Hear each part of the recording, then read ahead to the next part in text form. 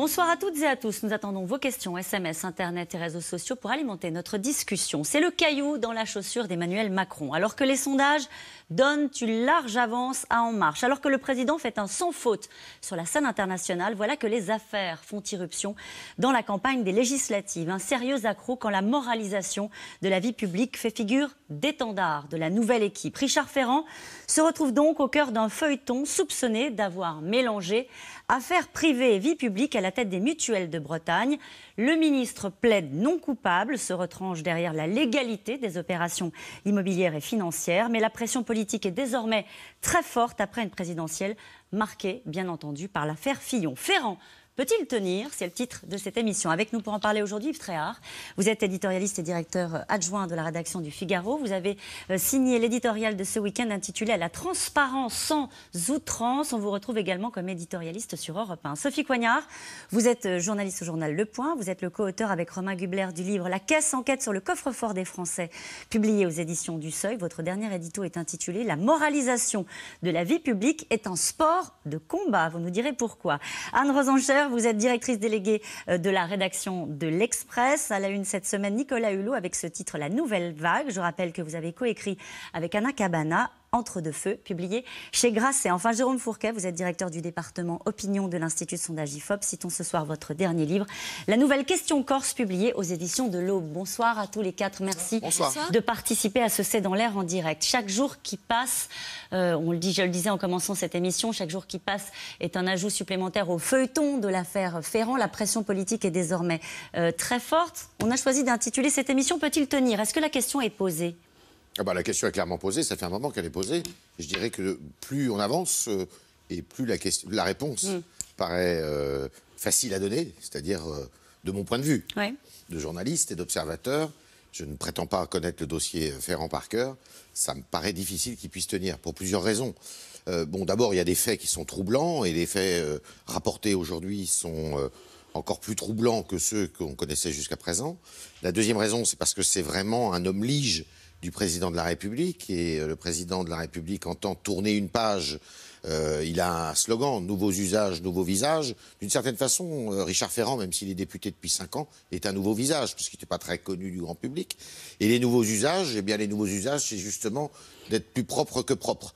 Et puis la troisième chose, euh, c'est euh, qu'il y a cette, euh, ce projet de loi porté par euh, le garde des Sceaux, François Bayrou, qui d'ailleurs exigeait que pour se rallier à Macron, qu'il y ait une moralisation de la vie politique, et eh bien de la vie publique. Et eh bien voilà, ce projet de loi, c'est le premier grand projet de loi de la présidence Macron, du quinquennat, qui est une force de symbole, eh bien, Richard Ferrand qui est pris, je dirais, dans les filets de cette, euh, cette histoire. Alors, ça pose beaucoup de questions. J'imagine que la, mission est faite pour qu'on y réponde et On va essayer. qu'on en parle.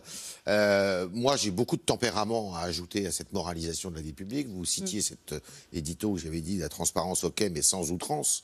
Parce que je pense que là, on va au-devant sincèrement, on va aller au-devant d'une situation qui me paraît intenable, quels que soient les partis, quels que soient les individus, et qui en plus a, je dirais, un handicap majeur, enfin un défaut majeur. Euh, la volonté du grand public, c'est aussi d'ouvrir euh, la, vie politique euh, à la société civile. Quand vous arrivez de la société civile, vous, vous n'arrivez pas vierge.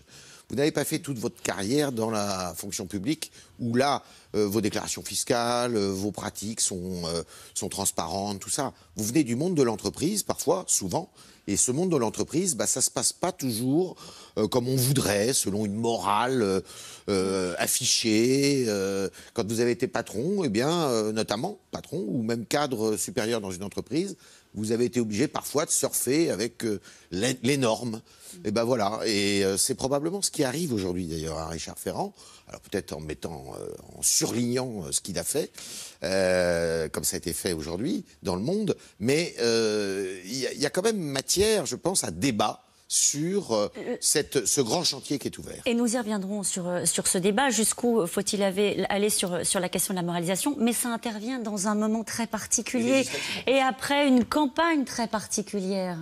Sophie Coignard. Tout à fait. Et même si les faits sont, sont très différents, ce qui est troublant, c'est euh, la maladresse de la, de la défense de Richard Ferrand et, des siens. Alors évidemment, il, il, vient de faire un communiqué. Alors d'abord, on remarque que ce communiqué est à en tête du ministère. Est-ce que c'est vraiment une bonne idée? Vous venez d'être nommé ministre et vous vous retranchez derrière l'institution pour essayer de défendre quelque chose qui, comme le disait Yves Tréhard, est une affaire qui n'a rien à voir ni avec la politique, ni avec le gouvernement, ni la haute, fonction publique à la base. Euh, donc il y, a ce premier problème. Ensuite, euh, dans ce que, pour répondre un peu à Yves, je trouve que euh, dans ce qu'il dit, on préjugerait que les gens de la société civile ont plus de choses à se reprocher que les politiques. Je ne suis pas tout à fait. Bah, parce que j'ai dit, mais. Mais je ne suis pas tout à fait sûr. Donc, voilà. Troisième chose, c'est qu'effectivement, moi, il me semble vraiment très compliqué que Richard Ferrand euh, puisse tenir. C'est-à-dire que le calcul fait euh, par euh, Emmanuel Macron et par son Premier ministre Édouard Philippe, c'est de se dire, finalement, on a une horloge qui tourne jusqu'aux législatives. Donc ils ont trouvé la formule très bonne, hein, très bonne, qui consiste à dire, finalement, qui va juger sur Richard Ferrand ce sont les électeurs. Ça vous rappelle rien? Simplement, bien sûr. Non, mais je sais pas. Mais, c'est ce, ce, que je vous disais tout à l'heure. C'est-à-dire que ce qui est troublant, c'est combien la défense de Richard Ferrand est la même que celle de François Fillon. C'est-à-dire, on crie à la Lali, à la chasse à l'homme. Enfin, euh, il y a Christophe Castaner qui a dit euh, sur une radio ce matin Mais enfin, c'est incroyable, le monde a mis plusieurs journalistes à temps plein pour travailler sur euh, Richard Ferrand. Mm.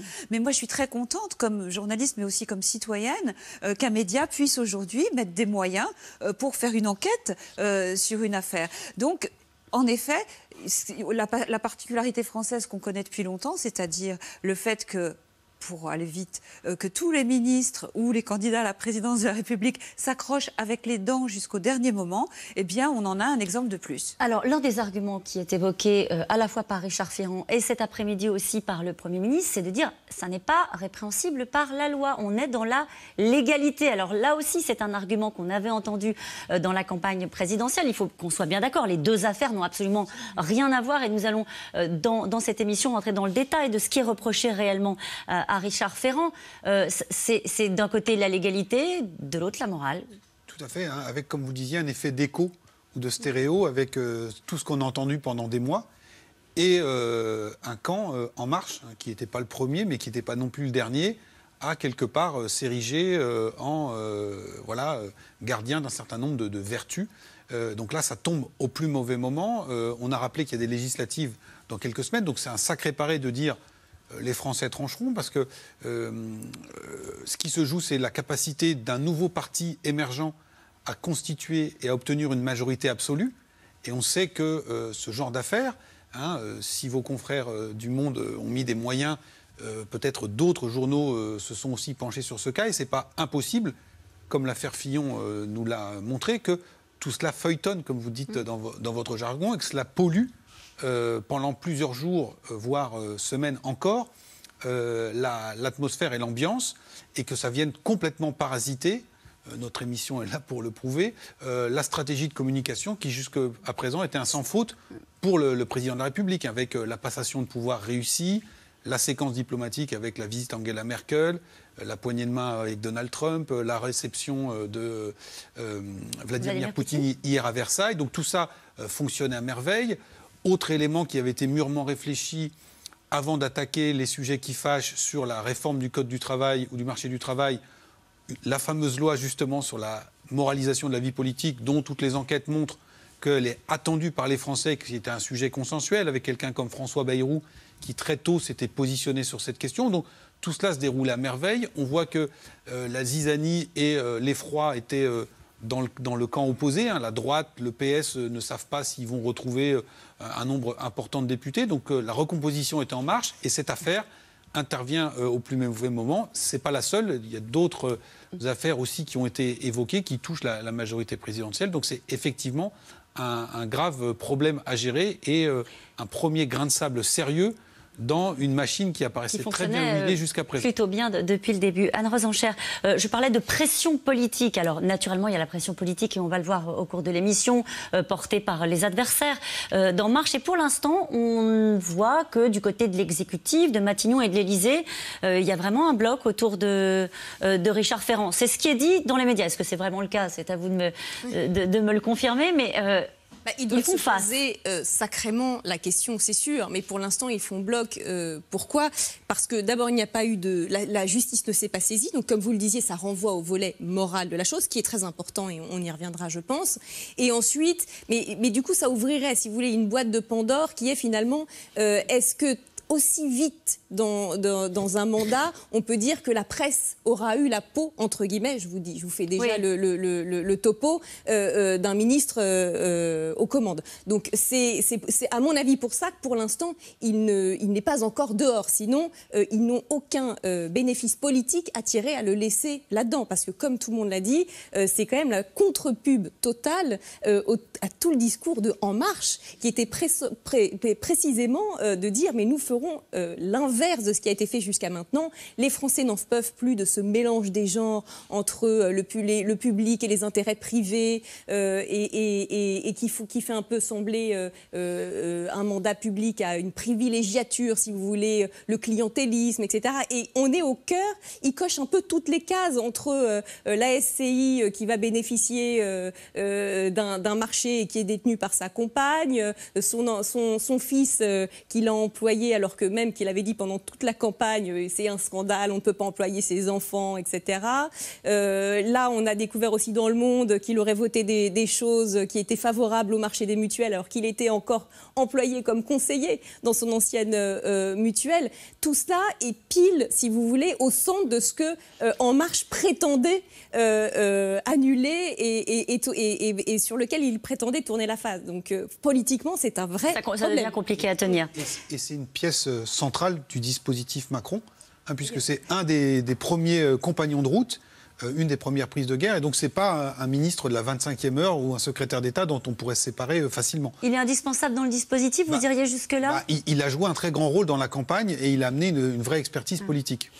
Alors on l'a bien compris, la pression devient chaque jour plus forte. Aujourd'hui encore, le monde assure que Richard Ferrand a fait bénéficier sa compagne, mais aussi, vous l'avez dit, euh, son ex-femme de contrat accordé par les mutuelles de Bretagne. Le ministre plaide la légalité de ces opérations quand la morale est invoquée à droite et à gauche pour dénoncer le mélange des genres. Emmanuel Macron sous pression alors que la loi de moralisation de la vie politique est présentée mercredi prochain en Conseil des ministres. Clotilde Ravco, Damien Fleurette et Thomas Buyer. En visite à Deauville, impossible pour Richard Ferrand d'esquiver les questions des journalistes. Attendez, vous permettez, je suis ici pour, euh, pour venir voir des, logements que construit euh, avec Partelios la ville de Deauville.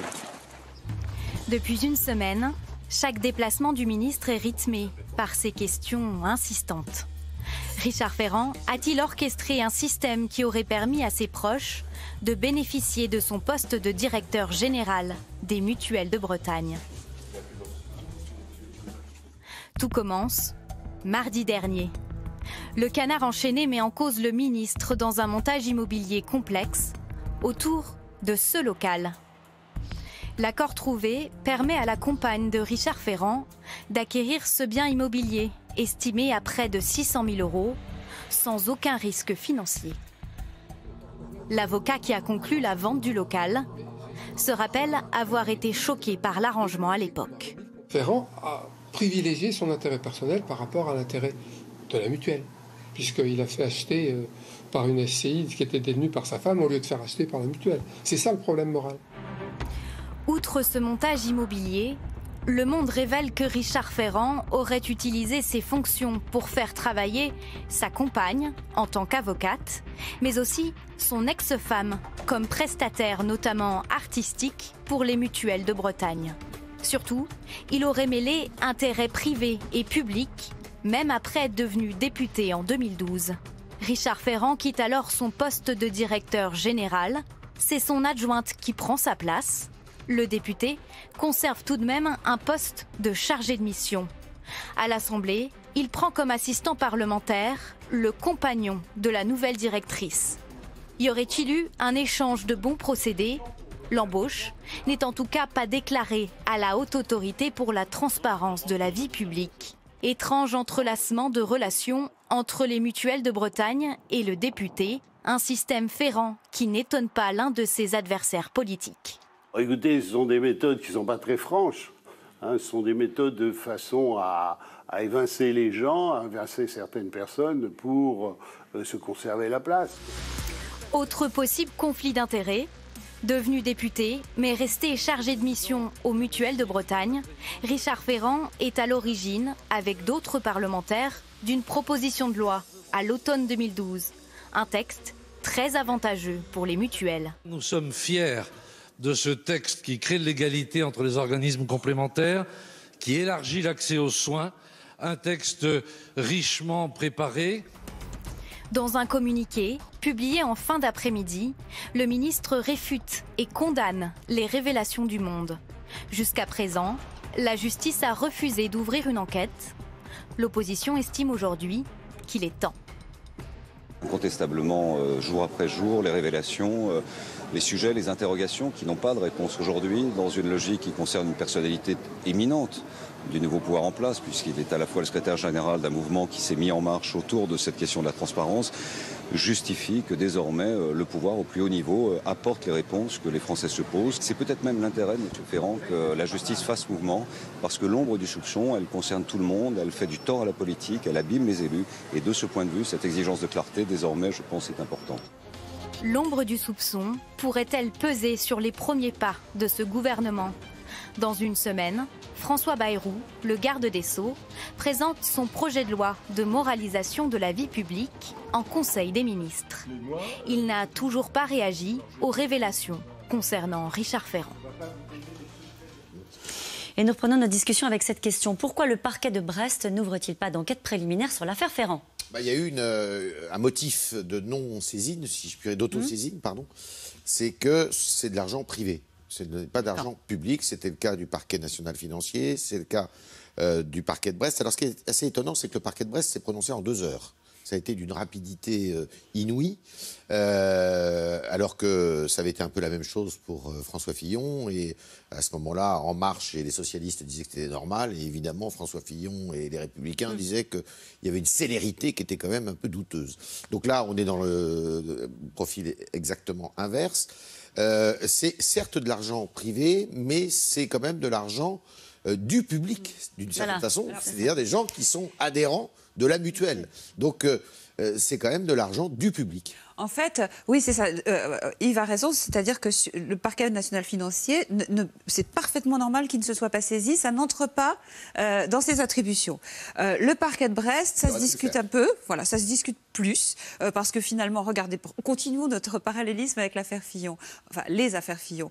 Vous aviez aussi un aspect qui était purement privé, qui était l'aspect revue des deux mondes, Pénélope Fillon, qui avait donc été employée dans cette revue qui appartient à Marc Ladret de la Charrière et donc c'était de l'argent purement privé. Or, pour l'instant, pour, pourtant, ils sont mis en examen euh, pour recel d'abus de biens sociaux. Donc, mm. l'argument de l'argent public, qui est beaucoup employé par le clan Macron, n'est pas suffisant pour euh, rendre absolue euh, l'apparence de l'égalité de tout cela. Ce qui se passe, c'est qu'effectivement, le, parquet de Brest a considéré qu'il n'y avait pas là de trafic d'influence ou d'abus de biens sociaux. Mais la partie n'est pas tout à fait terminée parce qu'il peut des gens euh, peuvent très bien, par exemple des, mm. euh, des adhérents des mutuelles, peuvent très bien porter plainte avec constitution de partie civile pour forcer euh, la justice à ouvrir une information judiciaire. Ça ne veut pas du tout dire. Sur quel motif? Sur, le motif que, en tant qu'adhérent euh, de, la mutuelle, euh, mes intérêts, enfin les intérêts ont, ont été lésés, euh, ont été lésés parce que finalement il y avait conflit d'intérêts ou disons apparence de conflit d'intérêts de la part du directeur général qui n'a enfin en tout cas ça serait l'accusation portée, euh, euh, qui n'a pas forcément géré cette mutuelle euh, au mieux des intérêts de ses adhérents. Donc le feuilleton judiciaire, pour répondre complètement à la question, n'est pas forcément tout à fait terminé.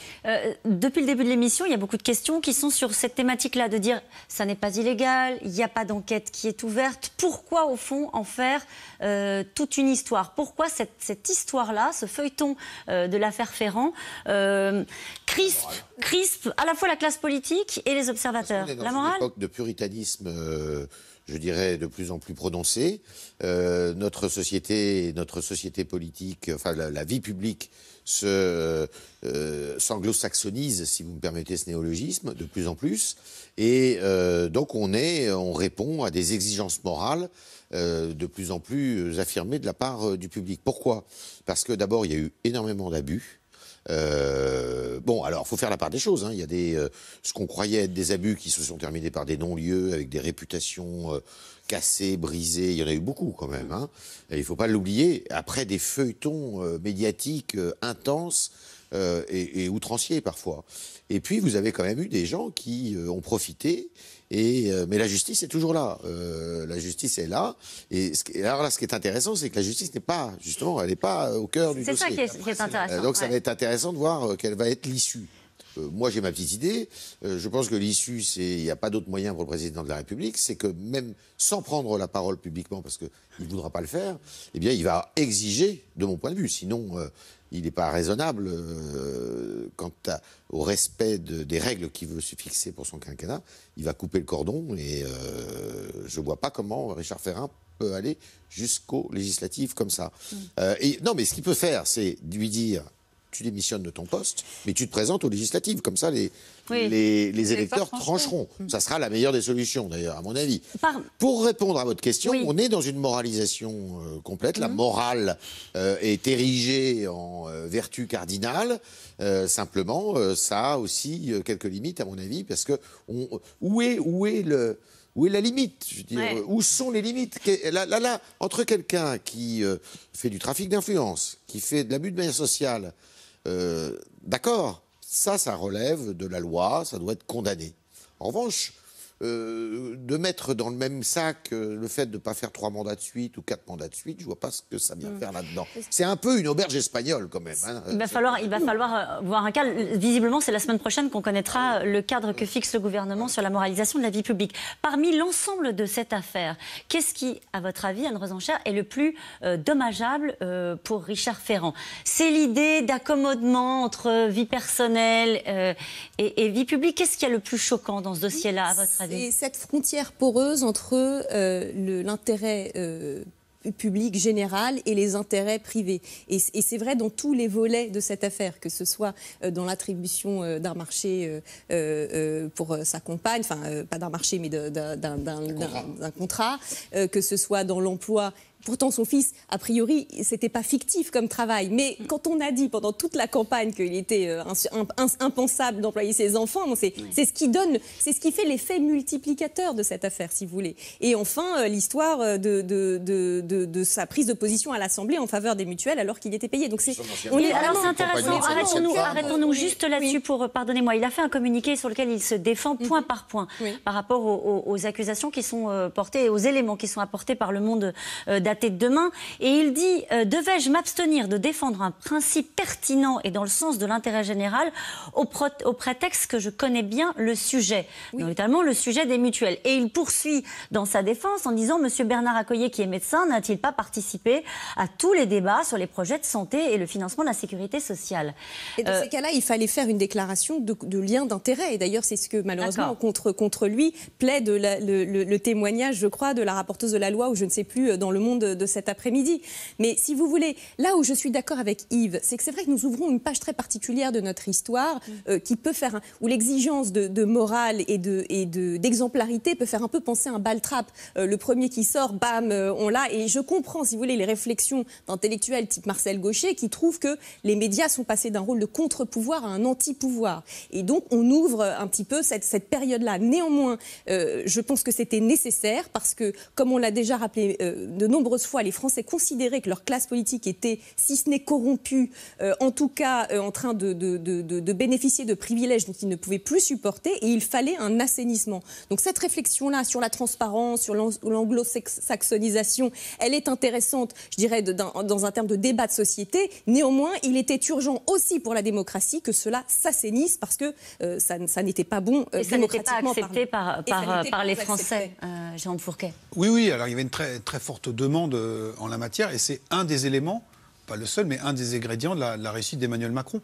Hein, dans, son, OPA lors de la, présidentielle, on l'a dit beaucoup, il a été euh, très fortement servi par euh, les déboires judiciaires de, François Fillon, mais dans tout le discours qu'il a, a développé, la question du renouvellement, des nouveaux visages, des nouvelles pratiques, ça passait spécialement par cela. De la même façon que François Fillon s'était démarqué de Nicolas Sarkozy en jouant déjà sur les affaires. Et euh, le bon sens populaire va retenir euh, l'adage de l'arroseur arrosé en disant voilà, c'est celui qui a fait la leçon et la morale à tout le monde qui se trouve aujourd'hui attrapé, alors même qu'on est convoqué pour euh, voter dans quelques semaines et que la première loi emblématique mm. que ce nouveau gouvernement va porter et qui a donc tenu compte de cette attente forte de l'opinion publique portera précisément sur ce sujet.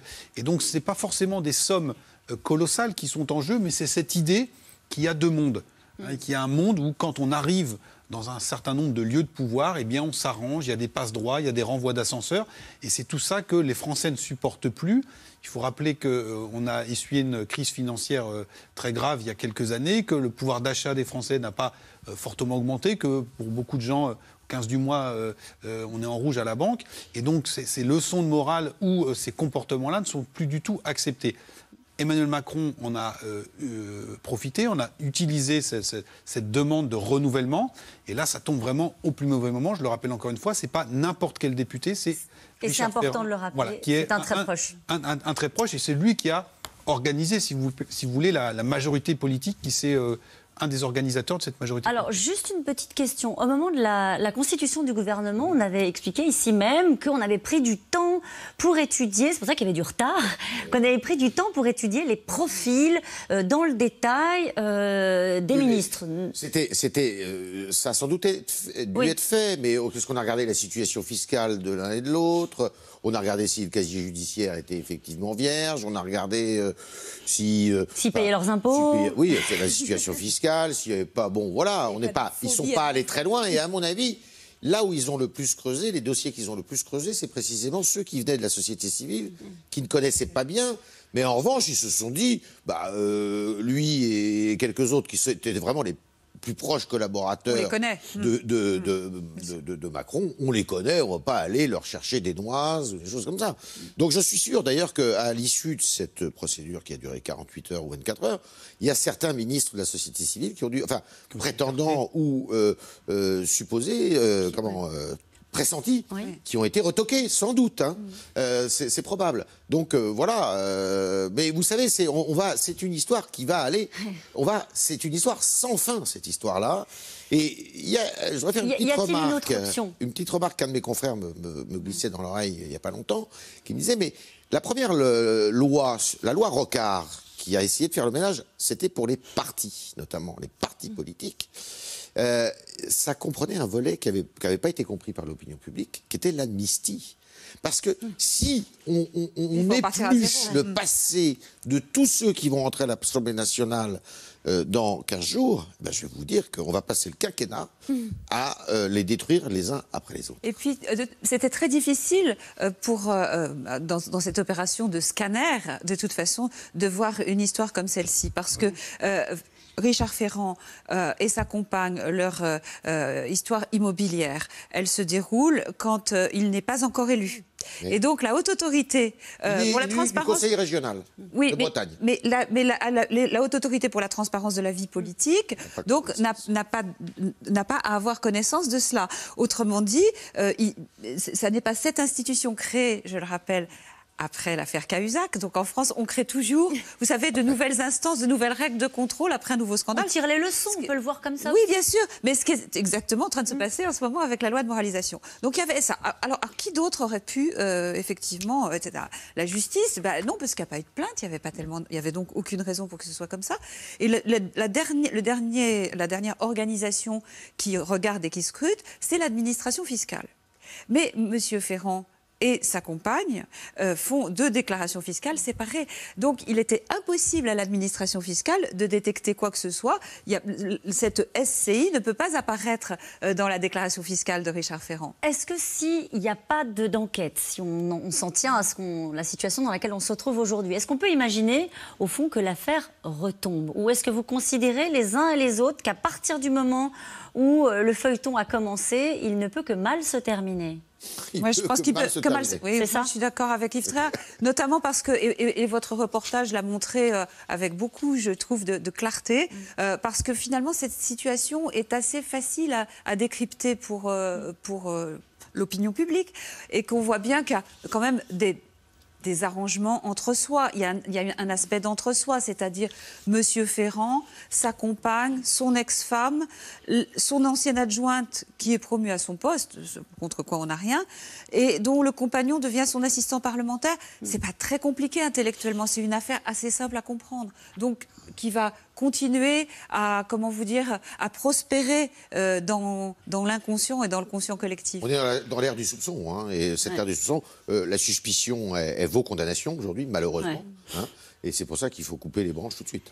Alors, on verra si c'est, on en parlera dans un instant, si ces affaires peuvent avoir une incidence sur, euh, sur les législatives. Visiblement, un sondage publié demain dans le Figaro donne En Marche euh, avec une majorité absolue. Donc, ça sous-entendrait que pour l'instant, il n'y a pas eu. De 320 à 350 sièges. Voilà, c'était inespéré. En projection. C'était inespéré à l'époque pour euh, Emmanuel Macron. Nous allons y revenir. À 12 jours des législatives, En Marche donc creuse l'écart et met en péril les positions du PS et du Parti Les Républicains. Au Parti Socialiste, certains appellent même à la démission euh, du premier secrétaire Jean-Christophe Cambadélis. Quant aux Républicains, ils tentent de sauver l'unité du parti. François Barouin, hier, a mis un terme au Nini et appelle ses troupes à se désister en cas de possible victoire euh, du Front National. Une campagne brouillée à droite par la nouvelle offre politique du gouvernement. Myriam Zéar, Léa Baraco et David Lemarchand.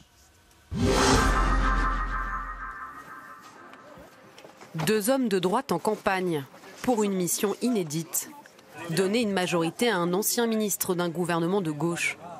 Édouard Philippe et Bruno Le Maire, l'image d'une recomposition politique en pleine métamorphose. Même taille, même chemise, même message. Ce que j'espère le 11 puis le 18 juin, c'est que les Français euh, auront compris le sens de cette audace et l'auront encore renforcé en lui donnant une majorité. Une majorité présidentielle. Le Premier ministre peut y croire, en tout cas pour l'instant. À deux semaines du premier tour, un sondage place La République en marche en tête des intentions de vote, avec 29,5% des voix, devant les Républicains à 22%. En marche en passe donc de remporter son pari, face à des partis qui peinent à retrouver une dynamique. Chez les Républicains, fini le nini. En cas de risque d'une victoire FN au second tour, la droite républicaine prône le désistement et c'est son nouveau patron qui l'affirme. Cette position, elle vise tout simplement à faire barrage au Front National en tout temps, tout lieu, toutes circonstances, et en rappelant que l'abstention n'est pas un choix. D'autres sont allés plus loin, Nicolas Sarkozy, Alain Juppé, François Fillon, moi-même, nous avons appelé, sans aucun état d'âme, à voter pour Emmanuel Macron pour faire barrage au Front National. Les gaullistes ont toujours été les adversaires historiques de l'extrême droite, du Front National, versus père, versus euh, euh, fille. Dans le parti de Marine Le Pen, justement, l'heure est à la mobilisation. Conférence de presse ce lundi matin, des porte-paroles du Front National, tout sourire. Après le départ de Marion Maréchal Le Pen, le divorce avec Nicolas Dupont-Aignan et l'émancipation de Florian Philippot, qui vient de créer sa propre association, pas question de se montrer divisé dans la famille Front National. Chacun est libre de porter un jugement sur la création de cette association et sur le moment où elle est créée, mais euh, toujours est-il que euh, chacun est libre aussi euh, d'avoir des activités associatives comme ça, qui permet, qui participent du débat au sein du mouvement. Voilà, ce que nous disons simplement, c'est qu'il faut en politique hiérarchiser les priorités, et nous sommes aujourd'hui engagés dans la bataille des législatives, et le, moment du débat, sans aucun tabou, sans aucun sujet dont, dont on ne pourra pas parler, eh bien, il viendra, mais après cette séquence électorale. Des règlements de compte qui ont déjà commencé rue de Solferino, Mesdames, Messieurs, euh, bonjour. là où certains appellent à une refondation. D'autres, comme le député Thierry Mandon, demandent la démission de Jean-Christophe Cambadélis. Entouré hier des nouveaux porte-paroles, presque tous inconnus, hormis Julien Drey. Julien Drey, qui euh, nous fait l'amitié de renforcer ce team. Le premier secrétaire répond aux critiques en faisant un lapsus, peut-être révélateur. Si nous voulons refonder, il faut le faire collectivement. Il faut faire souffrir, souffler euh, l'esprit collectif sur le Parti socialiste. Malgré la défaite aux élections présidentielles et les mauvais sondages, Le Parti socialiste se défend d'être en souffrance et assume ses divergences. Il y a une réalité à l'intérieur du Parti socialiste. On ne peut pas la nier, on ne peut pas vous mentir. Il y, a, des débats, il y a des contradictions, euh, il y a des positionnements qui sont d'ailleurs euh, en train d'être discutés. Mais l'optique majoritaire des dirigeants socialistes, des militants, des candidats, c'est dire nous, on veut la réussite de ce quinquennat. Donc on y travaille, on est constructif, on est vigilant et on défend un certain nombre d'idées et on défend une identité. Garder une identité, peut-être plus facile à dire qu'à faire pour un parti qui, selon les sondages, ne recueillerait plus que 9% des intentions de vote aux élections législatives. Et nous avons retenu collectivement ce lapsus très révélateur de Jean-Christophe Cambadélis qui veut faire souffrir l'esprit collectif au lieu de souffrir l'esprit collectif. Elle n'est pas facile cette campagne. Alors on va voir si les affaires, euh, et en particulier l'affaire Ferrand, euh, peut avoir une, une incidence sur, euh, sur la dynamique en marche, parce qu'il y a bel et bien une dynamique, hein, Jérôme Fourquet. Oui, il y a une dynamique. C'était pas, euh, en tout cas, notre, notre fenêtre, c'était pas forcément acquis à la, veille du second tour hein, que Emmanuel Macron, ne disposant pas d'un parti organisé, puisse bénéficier de cet euh, effet d'entraînement d'une victoire à la présidentielle. Mais là, euh, les chiffres euh, parlent, en tout cas les, enquêtes d'opinion nous montrent qu'il y a une, vraie progression de la dynamique d'intention de vote en faveur des candidats en marche, qui garderait le socle des électeurs qui ont fait confiance à Emmanuel Macron au premier tour, mais à cela viendrait s'ajouter une part substantielle d'électeurs qui avaient voté soit Benoît Hamon, soit euh, François Fillon. Hein, un électeur sur cinq de François Fillon, envisage aujourd'hui euh, de voter pour euh, des candidats en marche. Alors, ça peut être le cas dans des circonscriptions où les candidats en marche viennent de la droite, hein, Bruno Le Maire par exemple, mais c'est plus large que cela. Hein. Euh, la phrase qu'on entend souvent aujourd'hui, c'est euh, il faut lui faire confiance, il faut lui laisser sa chance. Euh, c'est lui qui a été désigné et donc euh, maintenant on, va y aller. On voit bien tout l'embarras des autres formations politiques, notamment du PS, mais également des Républicains, pour qui quelque part un monde et un paysage s'effondre. Hein, C'est-à-dire qu'on euh, est encore sur les vieux réflexes, mais euh, toute la géographie a été complètement euh, bouleversée. Regardez le débat sur est-ce qu'il faut, euh, quand on est dans le camp, de la droite et qu'on est en troisième position, appeler à voter contre le Front National. À une époque, il y avait une, ligne qui était de ne pas appeler à voter pour la gauche, mais là, ce serait se désister pour En Marche. Est-ce que En Marche est à gauche Sachant qu'Édouard Philippe, un des leurs, est aujourd'hui à Matignon. Donc tout le monde y perd son latin et sa grammaire.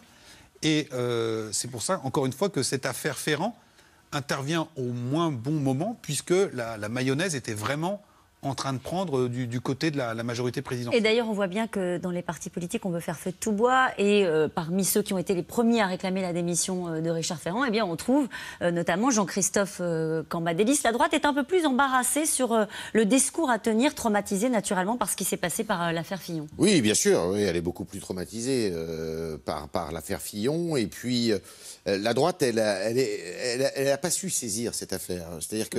Elle a eu de la retenue parce qu'il y a eu Fillon, donc évidemment elle aurait pu être accusée de, euh, tout ce qui s'était passé avant.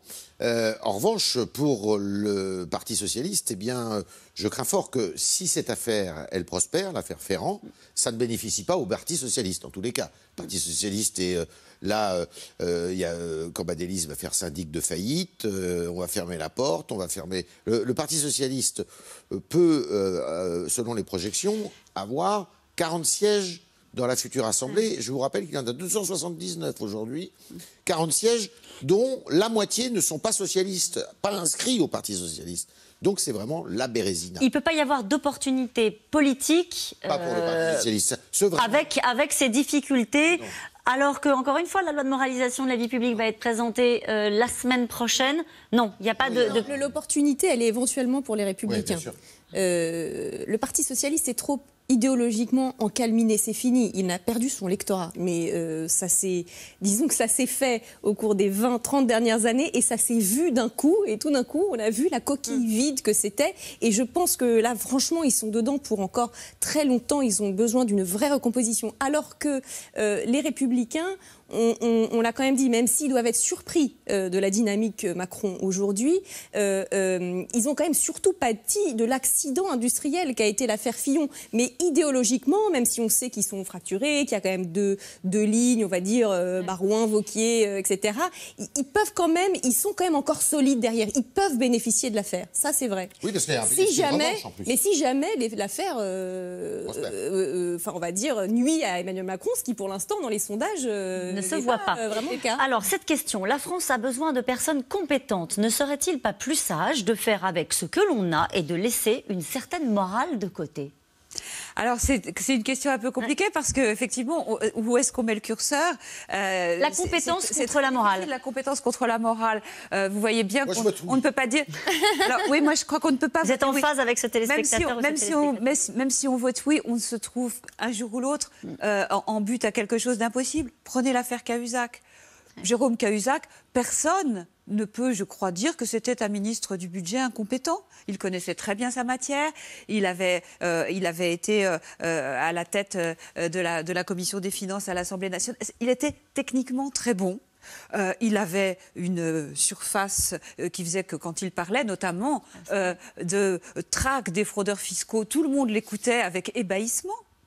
Et puis, quand tout à coup il apparaît qu'il est acculé à avouer qu'il a un compte à l'étranger caché, de l'argent caché. La compétence ne pèse plus rien face à cela. La compétence ne pèse, ne pèse plus rien, même si on a décidé que la compétence était préférable. On voit bien, l'affaire enfin, l'affaire Cahuzac nous montre qu'il y a une dynamique propre euh, des choses qui fait que, que, ça n'est pas, que ça n'est pas acceptable et que l'opinion publique ne le tolérerait pas. Et c'est intéressant de voir, on va venir à un autre dossier que doit gérer euh, le gouvernement euh, euh, d'Édouard Philippe, c'est le cas de Marielle de Sarnez, donc, qui elle est sous, donc, ministre des Affaires européennes, qui est sous le coup euh, d'une enquête pour abus de confiance avec 18 autres eurodéputés, avec cette histoire donc de soupçons d'emploi fictif au Parlement européen, une affaire donc qui repose sur une dénonciation euh, qui vient du Front National. Alors là aussi, on se dit, est-ce qu'on n'est pas euh, bon là c'est la dénonciation du Front National hein, sur laquelle surfe beaucoup Marielle de Sarnez euh, aujourd'hui. C'est choquant, c'est pas choquant, on en fait trop. Il faut laisser la- la- l'affaire suivre tranquillement son cours. On rappelle que cette enquête a été ouverte le 22 mars, donc bien naturellement avant qu'elle soit nommée. La réplique, en fait, c'est exactement la réplique des emplois fictifs de la ville de Paris, hein, pour ceux qui ont euh, quelques mémoires. C'est-à-dire, pour faire court, ce sont des gens qui sont payés, donc des, des- des collaborateurs, des attachés parlementaires, qui sont payés par le Parlement européen, mais euh, dont on soupçonne qu'ils ne travaillent pas effectivement pour le travail européen des eurodéputés, mais peut-être pour la tambouille euh, des partis, du parti de rattachement des députés, pour ce qui est de Madame de Sarnez, du MoDem, ou pour d'autres euh, activités qui n'ont rien à voir avec euh, la vie politique de l'Europe. Donc, ce, qui est, ce qui est terrifiant dans cette histoire-là, même si je pense que malheureusement cette pratique, elle est partagée par tous les partis. On voit M. Jadot d'Europe Écologie Les Verts, Madame Rivasi d'Europe Écologie Les Verts. On voit Madame Alliot-Marie, Hortefeux. on voit Brice Hortefeux, enfin, il y a du monde. hein. Euh, et, et 19 évidemment, et les frontistes aussi, les, les eurodéputés frontistes, parce que c'est ça qu'on reproche aussi à grande échelle à Marine Le Pen. Euh, ce qui est dommage, c'est que tout ça se fasse encore, et c'est ça, c'est là où les Français devraient quand même réfléchir, sur le dos de l'Europe. C'est-à-dire que cette Europe que beaucoup de ces parlementaires, qui sont européens, euh, eurodéputés pourtant, critiquent, jettent aux orties, eh bien c'est avec l'argent de cette Europe-là qu'ils trompent d'une certaine façon leur électorat. Donc là, il y a un ménage à faire qui est évident. Le Parlement européen est saisi de l'affaire, le parquet est saisi aussi euh, de l'affaire, enfin le procureur de la République est saisi de l'affaire. On va voir ce que ça donne, mais c'est une affaire qui, à mon avis, euh, va avoir des répercussions euh, dans tous les partis. Là. Mais qui- voilà, c'est ça, qui ne concerne moins en marche, qui concerne Ça- Sauf que de la Madame de classe. Sarnez est, est ministre. Voilà, et, et quelle est, euh, Et quelle cette est affaire concerne le Parlement européen et que là aussi c'est un des, un des grands sujets qui a animé le débat présidentiel. Il y a eu le- l'affaire Fillon et l'affaire des emplois fictifs des attachés parlementaires du Front National. Et donc là, vous disiez tout à l'heure à qui peut profiter le crime ou l'affaire. Euh, Il y a un parti qu'on n'a pas cité, qu'on cite toujours euh, dans ce genre d'affaires, c'est le Front National. Hein, puisque là, on va dire, écoutez, euh, là, là aussi, il y a une très grande célérité de l'institution européenne pour nous mettre la, tête dans le seau sur cette affaire. Alors, il faut voir jusqu'à plus ample informé ce qu'il en est, puisque là, les, éléments nouveaux qui sont apportés sur la place publique viennent du Front National. Donc on verra si euh, euh, les gens qui sont incriminés euh, ont raison de l'être ou pas. Mais euh, il est de notoriété euh, presque publique que beaucoup de partis, à Paris ou euh, au, Parlement européen, l'ont fait. La preuve en est, c'est que euh, Pénélope Fillon, ce qu'on lui a reproché, c'est de n'avoir fait aucun travail. Et le travail sur lequel légalement elle aurait pu être rémunérée, c'était un travail politique, hein, d'animation d'un réseau politique dans une circonscription, ce que le règlement de l'Assemblée euh, européenne interdit. On voit bien que c'était euh, légal chez nous en France. Donc tout ça, on est euh, vraiment dans, le cœur du, fonctionnement de notre démocratie, et ça intervient encore une fois sur le principe de l'arroseur arrosé, quelques semaines après la campagne présidentielle. Un mot sur François Bayrou, garde des Sceaux, issu de la formation du Modem, tout comme Marielle de Sarnez. On dit partout, faut-il qu'il s'exprime Doit-il s'exprimer? C'est un sujet Ah là, cette histoire de Sarnez va, va beaucoup l'ennuyer parce que euh, imaginez que les collaborateurs en question aient travaillé pour le Modem. C'est qui le président du Modem? C'est François Bayrou. C'est François Bayrou qui est par ailleurs garde des Sceaux, Et qui doit de porter porter la la loi. de la modernisation, la modernisation. La semaine prochaine. Alors on avance. La loi sur le non-cumul impacte cette campagne des législatives avec un renouvellement général et l'émergence de nouvelles têtes dans tous les partis. À Marseille, euh, dans la troisième circonscription, 17 candidats sont dans la course. Des profils parfois atypiques comme cette ex-championne de boxe qui se présente sous les couleurs de la France insoumise, Laurent Hirsch et David Lemarchand.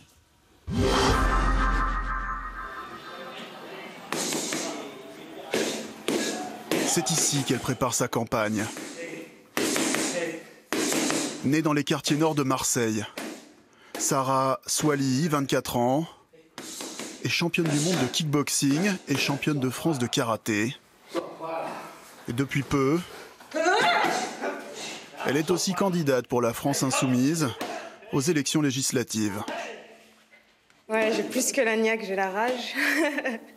j'ai la rage contre toutes ces inégalités qui peuvent pousser cette- certaines personnes à, être contre euh, voilà, la société. J'ai cette rage euh, contre les inégalités, contre la pauvreté, contre euh, cette jeunesse qui est délaissée. Et aujourd'hui, c'est aussi pour ça que je suis candidate. Véritable petite célébrité locale, la boxe est pour Sarah Swali son meilleur programme. Peut-être avoir amené euh, beaucoup de- d'activités sportives et tout, qui, qui va faire bouger et tout. Ouais, des activités sportives, que les jeunes font du sport, des sorties, je sais pas, partir. Euh, des de centres aérés par exemple, partir en vacances et tout. À plusieurs, ça serait bien ça. La troisième circonscription des Bouches-du-Rhône est située en plein cœur de Marseille. 134 000 habitants, 68 bureaux de vote, un quartier très dense et sans députés sortants. Fin 2016, la socialiste Sylvie Andrieux a dû démissionner de l'Assemblée nationale après sa condamnation pour détournement de fonds publics. Depuis lors, son siège est resté vacant. Un climat politique pesant, y compris pour le républicain Richard Miron. Actuellement, il enchaîne les meetings et autres réunions de voisins. Nous, si vous nous soutenez, vous n'aurez jamais à rougir de nous. Nous, on n'a pas grand-chose, le peu qu'on a, on l'a travaillé. Difficile de mener campagne après les scandales liés au candidat de son parti, François Fillon, lors de la dernière élection présidentielle. Pour finir sur les costumes, parce que ça vous intéresse, hein? Bien évidemment, c'est à la mode en ce moment. Moi, je ne savais pas qu'il y a des costumes à 13 000 euros. Ceux-là, ils coûtent 400 euros, ils sortent de la Valentine. De manière très claire. Ce qu'on a besoin, nous, c'est d'être rassurés au jour d'aujourd'hui. On a tellement. euh, euh, parce que c'est. On a l'impression d'être manipulé à la plus grande échelle. Euh, on a envie d'être écouté déjà à notre échelle, sur notre territoire, et d'être représenté par quelqu'un qui nous comprend. Eh oui. Qui vient près de nous, à notre écoute. Et cette exaspération, cette exaspération, elle renvoie à quoi? Elle renvoie, c'est bon, il y en a marre, quoi. C'est bon, on n'en veut plus, quoi, quel qu'il soit. Euh, et donc on s'aperçoit qu'ici, donc les extrêmes font des scores remarquables. Compliqué pour le candidat des Républicains dans un nouveau paysage politique où tout semble possible, même pour des candidats qui ont peu, voire pas d'expérience politique. Au Parti socialiste, on a misé sur un nouveau visage. Alors voilà, ma deuxième affiche de campagne. Donc euh, pourquoi une majorité présidentielle? Tout simplement parce que j'ai souhaité- je souhaite m'inscrire si demain je suis élue, donc dans une- majorité présidentielle constructive et solide, marqué à gauche. Andy Marino affiche sa compatibilité avec le gouvernement, et ce malgré la présence face à elle d'une candidate La République en marche. Alexandra Louis a été investie jeudi 18 mai, moins de 24 heures avant la date limite. On a réussi, mine de rien, à faire ce que d'autres font en plusieurs semaines, on l'a fait en quelques jours. Donc là, on a relevé le défi, c'est pas évident, mais on est plutôt euh, là, on commence à être rassuré parce qu'on voit que ça se met en place. Une candidature de dernière minute qui vient s'ajouter aux 16 autres prétendants dans cette circonscription. C'est 4 de plus qu'en 2012. Et c'était intéressant d'entendre dans ce reportage ce représentant des Républicains qui disait euh, si vous nous faites confiance, euh, bah, de toute façon, nous, on n'a rien. Quoi. Euh, on sent bien le traumatisme laissé par cette présidentielle, ce que vous nous disiez tout à l'heure, Jean ah, et, et, notamment dans un territoire hein, comme celui des, des, des, quartiers nord de Marseille, hein, où il y a des, une, une, difficulté sociale importante et une déconnexion très grande entre voilà, ce, ce monde d'en haut qui de temps en temps euh, euh, est euh, donné à voir par les médias. On ouvre quelques volets, quelques, quelques portes, et les Français, dans leur grande majorité, ne s'y retrouvent pas. Et, peut-être que certains disent qu'à leur place, ils feraient pareil. Hein. mais tout ça nourrit ce, fossé. Hein, et ce que vous disiez tout à l'heure sur le Parti socialiste, il y a d'autres évolutions ou d'autres mutations qui étaient en cours depuis un moment. Et puis euh, la présidentielle a cristallisé tout cela, hein, c'est-à-dire euh, une recomposition politique, une volonté de renouvellement euh, des visages très, très marqués. Et des pratiques. Des, et pratiques, des pratiques, ça va être ça le et, sujet. Et, et, aussi des appareils. Hein. On, on, voyait dans votre précédent reportage Jean-Christophe Cambadélis, ouais. Julien Drey, avec une logique d'appareil chic, d'appareil, en disant voilà, on va, faire, on va construire le team, etc. Là, on a une candidate socialiste qui utilise la langue de bois en disant je m'inscris dans une majorité présidentielle, mais ancrée à gauche. Donc là, on est dans la bouillabaisse marseillaise, parce qu'on n'est pas vraiment sur un ancrage à gauche actuellement. Et donc, on voit que tout ça est en train de, voler en éclats et que euh, l'élection d'Emmanuel Macron a euh, ouvert une ère euh, totalement nouvelle dont on ne voit pas encore toutes les, conséquences. Nous, dans nos enquêtes, on interroge les gens sur leurs intentions de vote, mais aussi sur leur proximité politique. Ce qui est un peu différent. Je vais voter de manière un peu stratégique pour tel candidat, mais moi, je me définis plutôt comme ci ou comme cela. Euh, Aujourd'hui, on a à peine 75 personnes sur 1000, donc 7 ou 8% de gens qui se définissent comme étant sympathisants socialistes. 300 qui se définissent comme, donc 30% proches d'En Marche. Hein, c'est quelque chose, moi ça fait 20 ans que je suis dans les sondages, j'ai jamais vu une marque politique émerger aussi ouais. euh, rapidement et brutalement et balayer d'un revers de main. C'est-à-dire que ce n'est pas uniquement du vote, c'est aussi des gens qui ne vont plus se définir comme étant proches du PS ou de la droite, mais ailleurs, dans cette espèce de, d'En Marche. Puisque ça fait 20 ans que vous faites ce métier-là, vous en avez vu passer euh, des ministres qui avaient des feuilletons, euh, euh, voilà, qui devaient gérer des feuilletons comme celui de, de Richard Ferrand. Est-ce qu'il y a une, un, un, impact sur, sur l'opinion qui se voit La question que tout le monde se pose, puisque là on est à 12 jours du vote et que vous nous l'avez dit, ouais. tout se passait quand même remarquablement bien pour le nouveau président de la République, est-ce que ça peut impacter quand on entend ce que disent encore une fois ces électeurs qui, voilà, qui se sentent bien déconnectés, un peu lésés par leur classe Alors, politique? Euh, deux choses. La première, c'est que euh, la sensibilité de l'opinion publique à ces affaires a grandement augmenté depuis quelques années. C'est-à-dire, il y a une dizaine ou une quinzaine d'années, on était plus sur le registre du moment qu'ils font bien le job. De toute façon, on ne se fait pas trop d'illusions. Et donc, euh, si on regarde bien, ils sont tous un peu condamnables.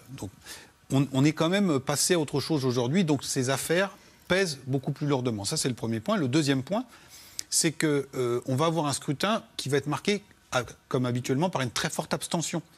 Et l'enjeu, notamment, c'est de mobiliser les siens, mobiliser son camp. Quand on a 40% d'abstention, notamment dans ce type de quartier, il faut que vous ayez suffisamment d'électeurs qui viennent voter pour vous. Et donc, cette affaire, elle peut avoir comme impact, non pas que des électeurs qui voulaient aller voter en marche votent pour d'autres partis, mais c'est une formation nouvelle et que des gens disent finalement, ils ne sont pas mieux que les autres, J'y ai cru un moment, et donc ce sera sans moi, je ne me déplace pas, ils n'auront pas ma voix.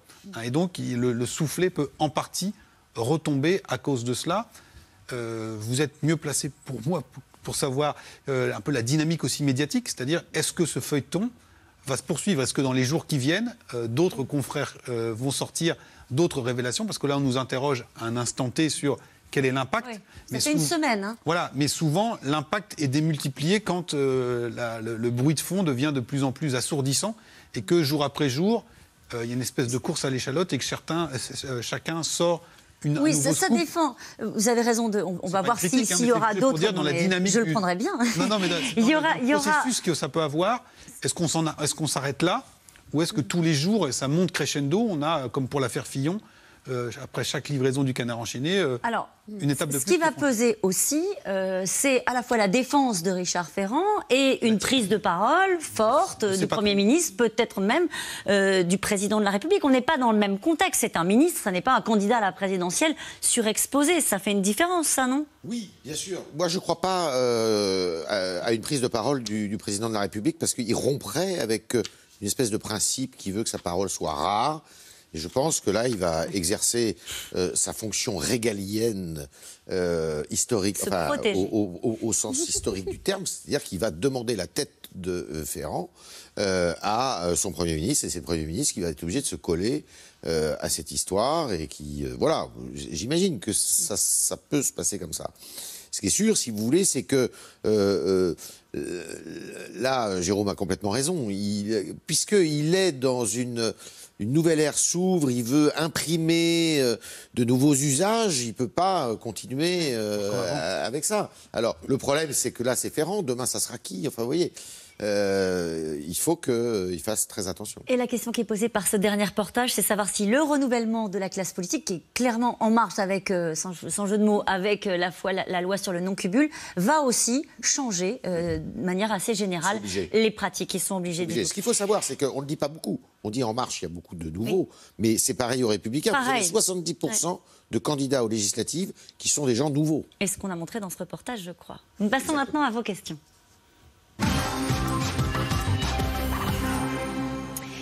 Sur quel fondement peut-on parler d'affaires Ferrand dès lors qu'aucune procédure n'a été engagée sur le plan judiciaire, Alors, c'est sur effectivement une série de faits que Richard Ferrand lui-même a reconnu.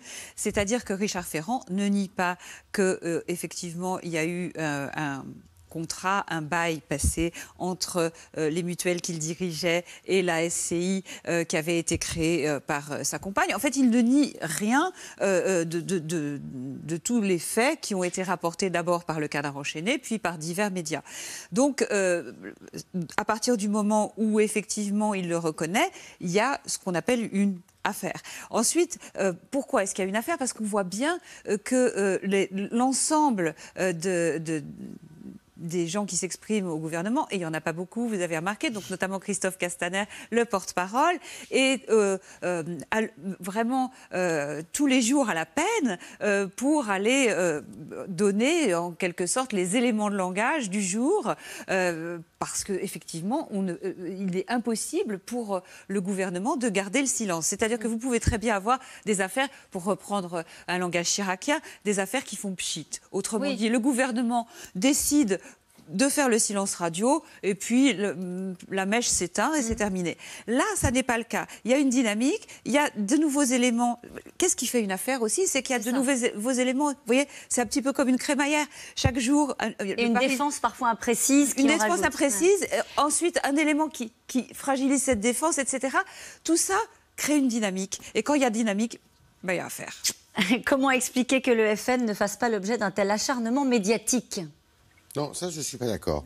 Euh, non, le, Front National, quand il y a eu l'affaire Le Pen, euh, on, on en a parlé. Enfin, je veux dire, pendant la campagne présidentielle, on en a parlé. On a tous fait le constat de dire que ça n'avait, ça semblait pas avoir beaucoup d'impact dans les intentions de vote pour Marine Le Pen. Mais attendez, Marine Le Pen était créditée normalement dans les premières études d'opinion, euh, ça euh, Jérôme peut le dire, d'un score bien supérieur à celui qu'elle a fait. Donc si ça se trouve, ça a sans doute euh, joué à la marge, peut-être qu'à la marge, mais ça a joué. Ça- je pense qu'il y a eu deux effets. Le premier, c'est que ça l'a quand même placée sur la défensive, hein, puisque habituellement, elle était très euh, vindicative et, et très euh, euh, euh, punchy. Pour, euh, et donc là, elle était sur la défensive. Elle était, hein, on se souvient de l'immunité ouvrière euh, qui Mm, avait sûr. été envoyée par, par Philippe Poutou. Et puis le deuxième élément qui a joué, à mon avis, c'est qu'elle a été en incapacité éventuellement de capter une partie de l'électorat de droite qui aurait été déstabilisé par l'affaire Fillon. Donc ça- ça- au final, ça n'a pas été si, si minime que ça. Et je pense quand même objectivement qu'il euh, euh, il a été beaucoup question des affaires, parce qu'il n'y en a pas qu'une, des affaires qui concernent le, le Front National. Là, où c'est, excusez-moi, là où c'est euh, tout à fait euh, euh, intéressant pour les médias et aussi pour une partie du grand public, c'est que cette nouvelle affaire touche précisément la majorité présidentielle après une, après une campagne où cette nouvelle majorité présidentielle a abondamment surfé sur ce besoin de moralisation. C'est ça qui fait l'intérêt. Le passé des ministres de Macron euh, n'était-il pas censé avoir été examiné pour éviter les affaires? On l'a dit tout à l'heure. On a dit c'est que ça, le scanner ne pouvait pas avoir, euh, ne pouvait pas euh, déceler tout et en l'occurrence pour l'affaire Ferrand, c'était évident là. je crois que Sophie Coignard l'avait démontré qu'il n'y avait rien qui permettait de faire remonter tous ces éléments à un passage au scanner même pendant 24 heures. Les affaires précédentes n'ont-elles donc pas servi d'exemple? C'est ben voilà, le sujet. C'est l'éternel sujet. Merci pour cette question. oui, non, mais c'est une très bonne question parce que, en effet, on se dit toujours qu'il va y avoir un effet dissuasif. Euh, on l'a dit notamment au moment des, premières affaires, au moment des premiers ministres démissionnaires. C'était euh, sous le gouvernement d'Édouard Balladur. Il y en a eu plusieurs, euh, et notamment il y a eu Alain Carignon qui est même allé en prison. Enfin, c'était la première fois à l'époque. on n'avait jamais vu ça, un ministre qui va en prison, etc. C'était quand même tout à fait saisissant. Et, avec beaucoup de, je dois dire, de naïveté et de fraîcheur, on est un certain nombre de journalistes et d'observateurs à avoir pensé que ben voilà, ça allait régler la question. Eh bien, il n'en est rien. Et puis, on voit bien que, comme Yves Tréhard le disait tout à l'heure, on peut faire toutes les lois du monde sur euh, la moralisation, sur le financement. Le nombre de lois qu'il y a eu sur le financement euh, des partis euh, est extraordinaire. On a un des meilleurs arsenaux qui soit, les plus moraux. les entreprises n'ont pas le droit de donner, c'est de l'argent public qui finance, il y a des critères. Eh bien, on trouve toujours, euh, et là je n'ai pas le temps de vous le raconter, mais on trouve toujours des petits malins pour trouver des circuits de dérivation. Et on ne peut pas tout cadenasser. Donc, mais en même temps, on ne progresse pas un petit peu, quand même. On, a quand même monté le niveau d'exigence. On, progresse, mais si vous voulez, euh, c'est intéressant parce que dans un premier temps, du temps de Michel Rocard, au tournant des années 90, c'est sur le financement des partis qu'on s'était beaucoup acharné. Et, le finance, et ces lois n'ont pas empêché l'affaire Big Malion, euh, qui n'est pas encore complètement terminée. Mais l'affaire Big Malion, c'est une histoire de financement de parti. Bon, là, maintenant, on s'acharne sur les élus. Alors, il y a eu la version, le, le, le, celui qui, qui, viole le fisc, c'est Cahuzac. Celui euh, qui fait de l'emploi fictif, c'est euh, présumé, c'est François Fillon. Maintenant, c'est... vous voyez, on, trouve toujours des nouvelles, de nouvelles affaires. Je Mais parce qu'on devient plus exigeant aussi, peut-être On devient plus exigeant, tout à fait. Pourquoi Richard Ferrand a-t-il accepté un poste au gouvernement alors que l'on savait qu'une enquête euh, sur chacun allait être menée bah C'est justement un des éléments qui renvoie à la question précédente. Il y a aussi euh, tous les moyens de contrôle et tous les arsenaux juridiques qui peuvent être déployés, mais il y a aussi la conscience ou même l'intérêt bien compris des individus. Je prends juste un exemple. Après l'affaire Cahuzac, qui était vraiment un psychodrame, on nomme euh, quelqu'un qui s'appelle Monsieur Thévenoud. Et donc, on est quand même euh, voilà, au budget. Monsieur Thévenoud, il ne se dit pas dans sa tête, à un moment, ça fait trois ans que d'arriéré d'impôts, moi et ma femme, et que fatalement, fatalement, ça va revenir sur la place publique. Il n'y a pas ce petit euh, court-circuit qui se met en place beaucoup d'hommes politiques euh, se donneraient manifestement pour un poste ou pour un, Marocain, comme on dit. Et donc, il y a, cela aussi. C'est-à-dire, euh, vous avez dans l'affaire Fillon aussi, quand au début, il est pris dans, les, dans les filets, sa défense est jugée mauvaise parce qu'il ne semble pas comprendre ce qui lui est reproché. C'est-à-dire, il n'y a pas mort d'homme et tout le monde l'a fait. regardez aussi un ministre de l'Intérieur très éphémère, socialiste, hein, qui, dans cette affaire, lui aussi, avait euh, embauché Bruno ses Leroux. enfants. Bruno Leroux. Donc euh, il y a tout ça que normalement il y a des warnings qui devraient s'allumer, mais ça pas. Pas toujours, visiblement. Pourquoi le ministre de la Justice reste-t-il silencieux? Excellente question. On, peut pas, on, ne peut pas ne pas remarquer le silence assourdissant du ministre de la Justice sur cette affaire. Alors, il, il faudrait qu'il s'exprime. Est-ce que ce serait son rôle en tant que garde des Sceaux de s'exprimer Non, parce que la justice n'est pas saisie. Alors, la, justice n'est pas saisie dans l'affaire euh, euh, dans l'affaire Ferrand, euh, mais dans l'affaire Marielle de Sarnez, elle l'est. Donc, effectivement, ça, ça va vite devenir, comme le disait Yves Tréhard tout à l'heure, un petit peu compliqué pour François Bayrou. Comment un membre du FN peut-il faire de la délation alors que le parti est lui-même impliqué bah, c'est pour ça qu'ils ont fait de la délation, c'est-à-dire pour montrer, bah, regardez, nous, ce qui nous arrive, ça, euh, ça arrive à d'autres et pourtant, euh, on ne l'a pas dénoncé, alors on va le faire. Ça s'appelle le Merci. Merci à vous tous. C'est la fin de cette émission qui sera rediffusée ce soir à 22h35. On se retrouve demain pour un nouveau C'est dans l'air. Tout de suite, c'est à vous. Belle soirée sur France 5.